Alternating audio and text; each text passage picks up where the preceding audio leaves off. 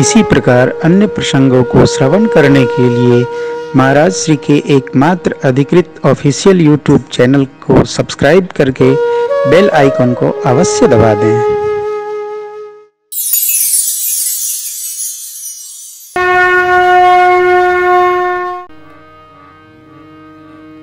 फरवरी में एक सन्यासी महापुरुष की कथा है।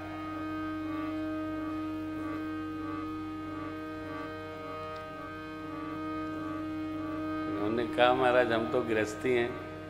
है आप केवल कहने को गृहस्थी हो। आओ वही जमुई बड़े अच्छे महापुरुष हैं। वो पीएचडी हैं। गुरु कृपा है, और झारखंड में, बिहड़ गाँव में आश्रम बना है। वहाँ महापुरुष तपस्या करके और प्रजा में भगवत भाव का प्रचार करते हैं। वहाँ जाने का संकल्प बना है। महाराज को बारंबार प्रणाम है। जो महापुरुष अपना सब कुछ समाहित करके और समाज जागरण, संस्कृति जागरण, संस्कार जागरण का अनुष्ठान करते हैं, वो सर्वकाल पूज्य है। कलकाल में बहुत कठिन है साहब। मैंने कल ही आपसे निवेदन किया स्व के लिए तो लगे रहना बहुत सरल है। परंतु स्वाहा करके समाज और धर्म के लिए लगे रहना यह बहुत कठिन है। बहुत कठिन है। वेरी डिफ़िकल्ट बाबा को माँ ने प्रणाम किया। शिवजी प्रसन्न होकर वामांग में आसन दिए। तब माँ को सती मैया का वह भाव स्मरण आया। बैठी शिव समीप हर शाही पूर्व जन्म कथा चित आई भरद्वाज जी बड़े अच्छे श्रोता हैं। याज्ञवल्क जी महाराज से पूछे प्रभु फिर आइए क्योंकि पिछली बार सती मैया ने कथा नहीं सुनी थी। देखिए कथा कौन सुन रहा है? इस पर विचार नहीं करना चाहिए, स्वयं सुनना चाहिए। कथा जीव का सर्वभाव मंगल कर देती है। यह लीला चरित्र अमृतमय है। ये श्रवण में पढ़ते ही जीव का मंगल कर देता है। या कवलक जी ने परिमार्जन किया, ये अन्यथा प्रश्न करने नहीं आई है। कथा जो सकल लोक हित का अब सोई पूछन चह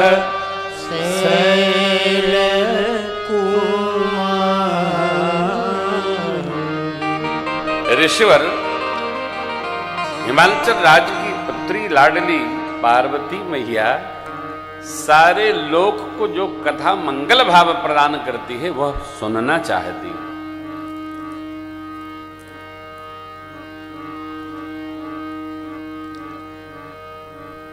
कथा कैसे कल्याण करती है, दिखता नहीं है, समझ में बसाता है।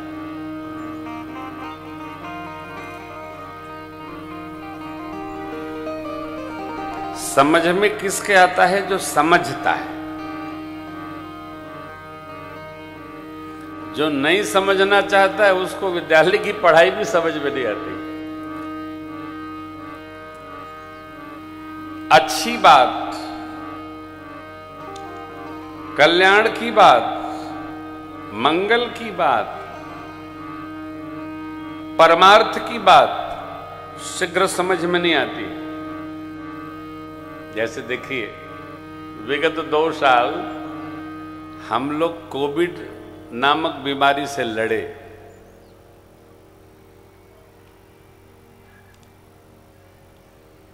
जब जाबी लगाने का संदेश आया, जाबी समझ रहे हैं ना?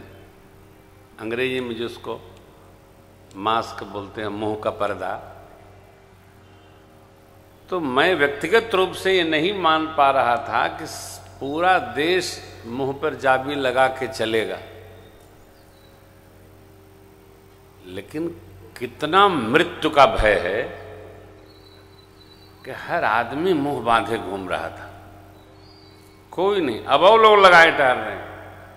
काहे डर के मारे। एक भाई अयोध्या आश्रम पर बैठे थे, आए तो हमने कहा, आप ये लगाए नहीं है मुँह का ढक्कन?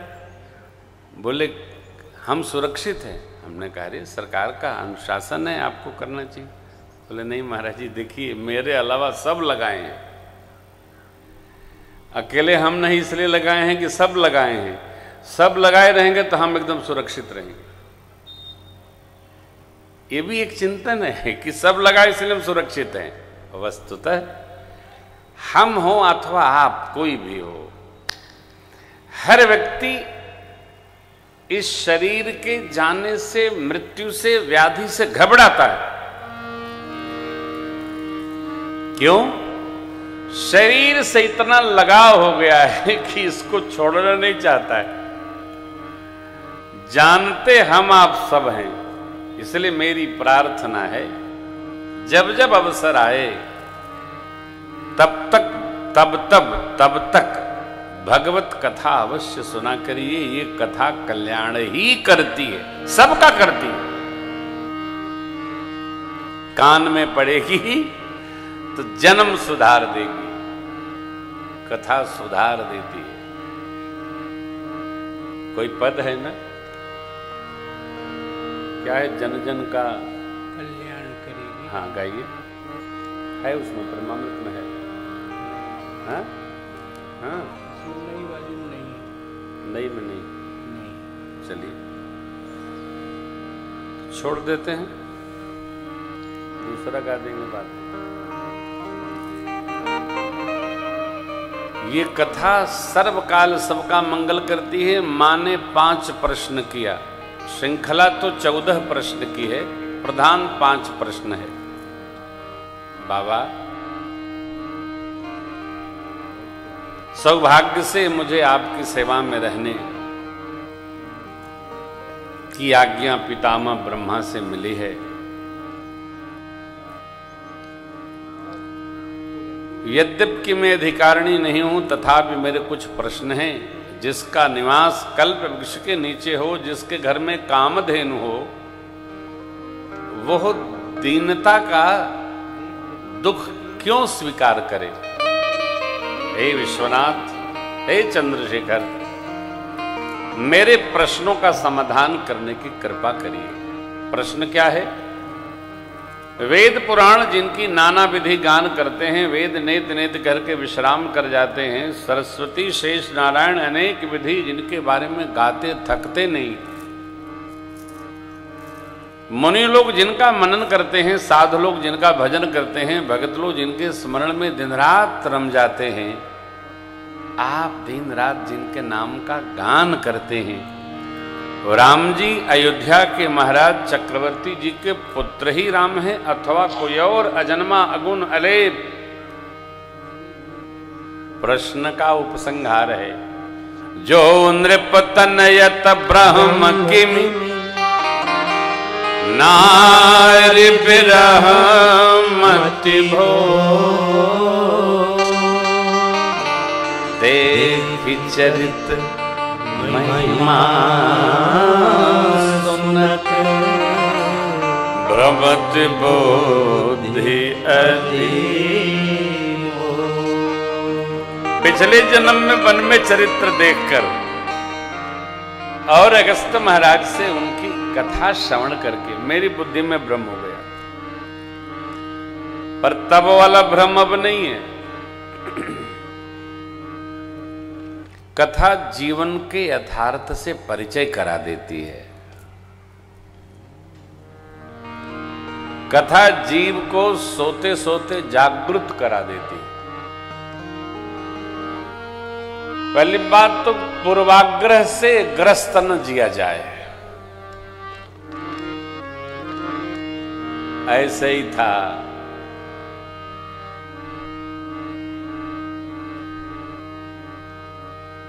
पूज्यपाद गोस्वामी जी ने कलयुग का एक बड़ा ही अद्भुत प्रताप कहा है। कलिकर एक पुनीत प्रतापा, मानस पुण्य हो ही नहीं पापा। कलयुग की क्या महिमा है? मानसिक पुण्य कर ले तो उसका फल प्राप्त हो जाता है। मानसिक पाप ताप स्मरण करे, उसका कोई फल नहीं, उसका त्रास नहीं मिलता। तो बैठे बैठे भी मानसिक पुण्य करते रहना चाहिए। बैठे बैठे मन से गंगा स्नान करते रहना चाहिए। बैठे बैठे कुछ दान करते रहना चाहिए। बैठे बैठे स्मरण में रहना चाहिए। बैठे बैठे परमार्थ का चिंतन करके करते ही रहना चाहिए मानसिक रूप से। ये पुनीत तो प्रतापा किसी युग में नहीं है। सतयुग में सत्य के आश्रय, त्रेता में यज्ञ के आश्रय, द्वापर में प्रभु पूजन के आश्रय और कलिकाल तो अद्भुत है साहब। पता नहीं लोग को इसकी निंदा करते रहते। कलयुग के लोग निंदा ही करते करते थकते नहीं। समय बहुत बुरा चल रहा। है बुरा चल रहा? है समय बहुत अच्छा है। जिसको जानते नहीं, उसका स्मरण करके वर्तमान को बुरा क्यों बताना? भूत का स्मरण करना भविष्य के श्रृंगार के लिए। सतयुग ऐसा था, द्वापर ऐसा था, त्रेता ऐसा था, लेकिन आपको पता है कि आप कैसे थे? नहीं ना? तो अच्छा है। कलिकाल इतना सुंदर है, इतना दिव्य है, इतना अच्छा है, इतना अच्छा कुछ नहीं है। इसका स्मरण करिए। माँ के प्रश्नों को सुनकर बाबा गदगद हो गए। हर ही राम चरित सब प्रेम लोचन। और बाबा ने सर्वप्रथम मंगलाचरण में स्मरण किया प्रभु का और मुँह खोलते ही माँ भगवती की प्रशंसा किया धन्य धन्य गिरिराज।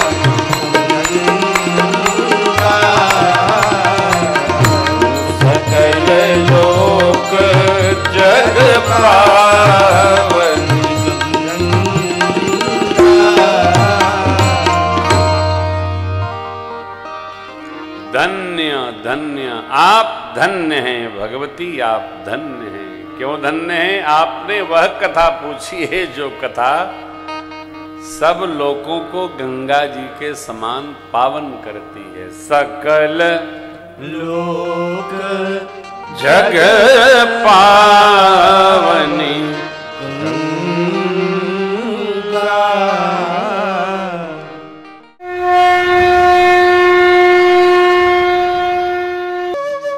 इसी प्रकार अन्य प्रसंगों को श्रवण करने के लिए महाराज श्री के एकमात्र अधिकृत ऑफिशियल यूट्यूब चैनल को सब्सक्राइब करके बेल आइकॉन को अवश्य दबा दें।